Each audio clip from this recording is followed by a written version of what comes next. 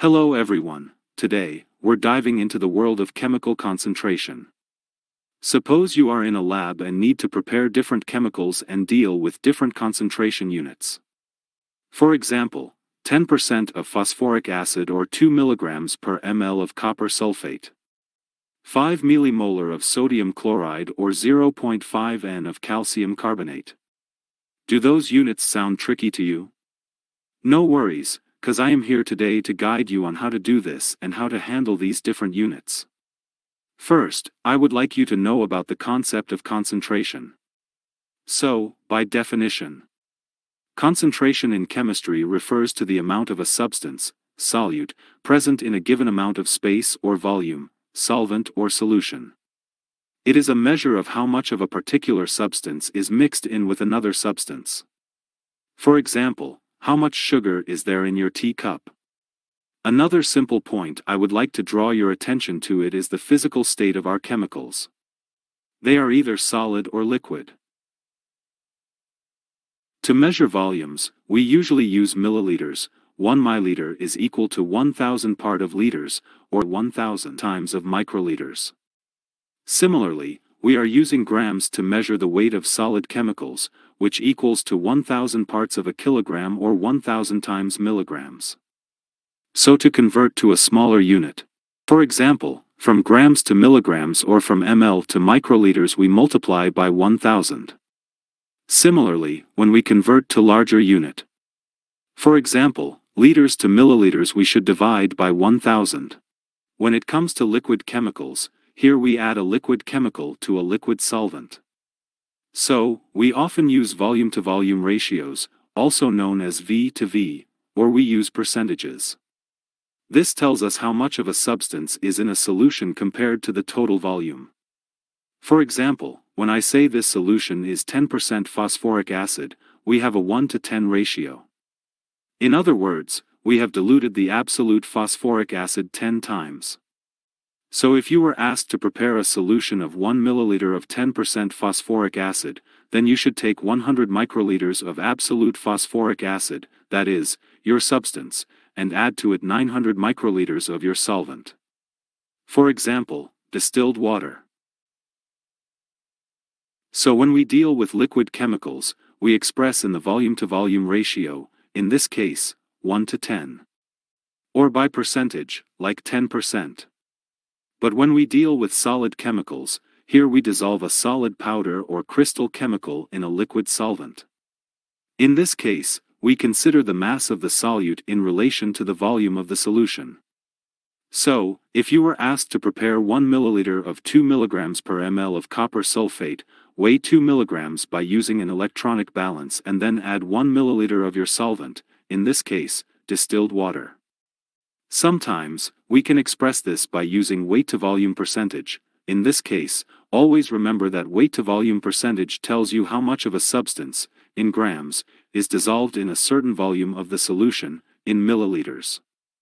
For example, to prepare 10% of potassium chloride in 1 milliliter, we weigh 100 milligrams, the 10% of 1 gram, and dissolve it in 1 milliliter of solution.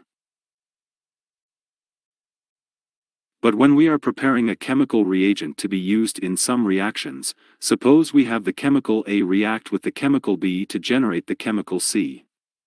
So, in this case, if we are preparing the chemicals A and B by using weight to volume unit, we might face some issues because 2 mg per ml of A is not equal to 2 mg per ml of chemical B. That is because the molecular weight of A is different from B. So, we end by getting a different number of molecules of A from B. In other words, 2 grams of gold is different from 2 grams of calcium because gold has a higher molecular weight than calcium. So 2 grams of the lighter element, in this case, calcium, contains more molecules than 2 grams of the higher molecular weight element like gold. So, to handle this issue, we want to normalize our reactant chemicals based on the number of molecules in the reaction tube, and to do so, we use a different unit that considers the differences in molecular weight, and here, the molarity concept comes into the context. For this reason, molarity measures the amount of moles of a substance in a solution. And here the question arises, what is mole?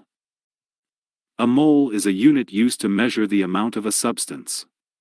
One mole of any substance contains Avogadro's number of entities which is approximately 6.02 times 10 to the 23rd power. These entities can be atoms, molecules, ions, electrons, or any other chemical entities.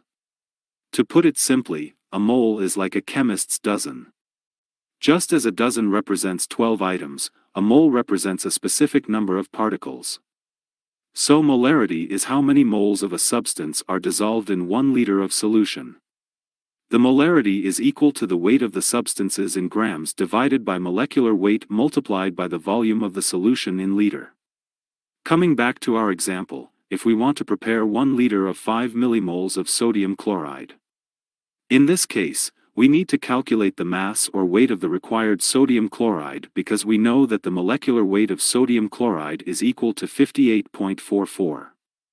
Also, we convert 5 millimoles to moles, which is 5 by 10, to raise the power of 10 minus 3. So it is equal to 292.2 raised to the power of 10 minus 3 grams, which is equal to 292.2 milligrams. So weigh 292 milligrams of sodium chloride and dissolve it in 1 liter of water to get 5 millimoles of sodium chloride. Another issue that you may face is that some chemicals can participate in the reaction by two equivalents. In this case, two molecules of A interact with a molecule of B to generate C and D products. You can notice that B molecule participates two times in the reaction. So, using molarity will not be helpful to prepare the reactants, A and B, for this chemical reaction. To handle this, another concentration unit comes into the context, which is normality. In the time that molarity considers the number of molecules that exist, normality considers the equivalent number. In other words, it considers how many times a particular molecule can participate in the chemical reaction. In scientific words, an equivalent number is a measure of the reactive capacity of a substance in a chemical reaction. Normality equals the number of equivalents divided by volume in liters. Also, we have a relation between normality and molarity.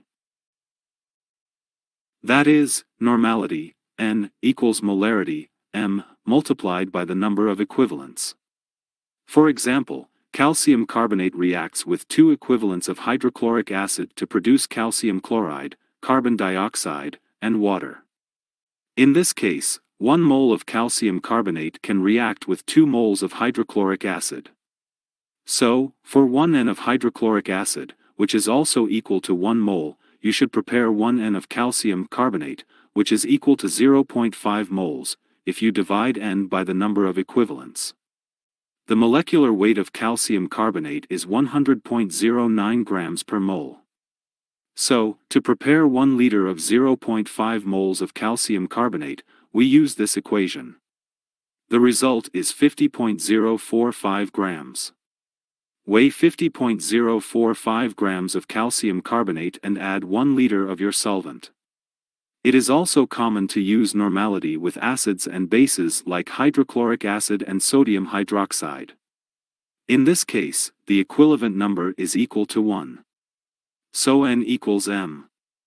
But sulfuric acid, which can donate two hydrogen ions, has 2x reaction capacity, and the equivalent number is equal to 2, so normality is half of its molarity. That was everything about this video, if you have any question do not hesitate to comment. Thank you for watching.